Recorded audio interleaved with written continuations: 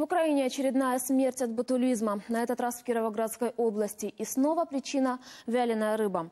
Всего по данным Минздрава, с начала года в Украине заболели уже 76 человек, 8 умерли. Большинство из-за отсутствия сыворотки. Ее не закупали три года, хотя в последнем случае пациентке не помогло даже лекарство.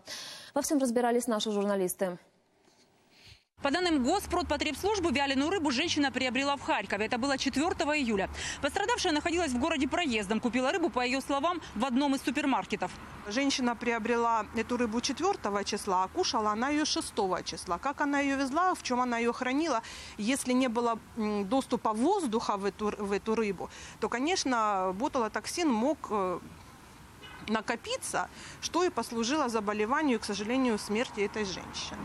Как сообщили в Кировоградском областном лабораторном центре, первые симптомы заболевания у женщины появились через 4 дня. В инфекционном отделении Новоукраинской районной больницы диагностировали ботулизм и ввели заболевшей сыворотку. Но спасти не смогли. Теперь Госпродпотребслужба вместе с полицией выясняют, где именно женщина купила смертоносную таранку. Ни упаковки, ни чека не сохранилось, так что найти торговую точку уже нереально. В сети супермаркетов, на которые указала погибшая, говорят, такого быть не могло более месяца назад торговой сетью АТБ э, были инициированы э, необходимые меры. Был усилен контроль на приемке продукции. Без сомнения, вся продукция качественная. Должны быть, э, видимо, предъявлены фактические доказательства, что продукция была приобретена в АТБ. Ну, как минимум, чек на продукцию. Супермаркеты, торгующие рыбой, законы не нарушают, говорят в Госпродпотребслужбе. После случаев ботулизма продажу вяленой рыбы запретили только в столице. Полномочий проверять торговые точки у специалистов нет. У нас есть э, приказы Держпродспоживслужбы, на основании которых мы выходим э, в торговую сеть э, совместно с органами полиции и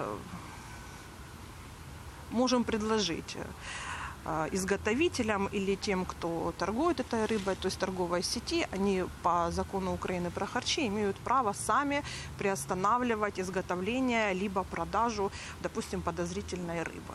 В Харьковской области на прошлой неделе все же изъяли у реализаторов около 500 килограммов продукции сомнительного качества. Два десятка предпринимателей заплатили штрафы, но это не панацея. Медики советуют рыбу, которая не прошла термообработку, не употреблять вообще.